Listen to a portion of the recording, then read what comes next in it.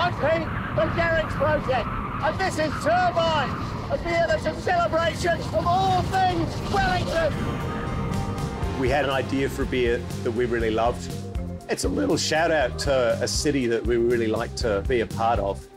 So when we we're looking to name this beer as a, as a bit of a love letter and a homage to Wellington, having Meridian's Brooklyn Turbine right above the brewery, it was a no-brainer. It just felt perfect. It was just a natural fit to team up with Meridian. They only generate from sustainable sources. It really encapsulates everything we want this beer to be known for.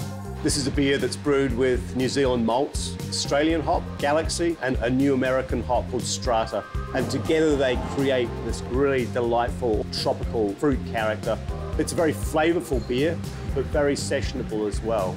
It's a beer that's delicious. It's a beer about being a brewery in Wellington, and it's also a beer that's about renewable resources and sustainability. That's pretty cool.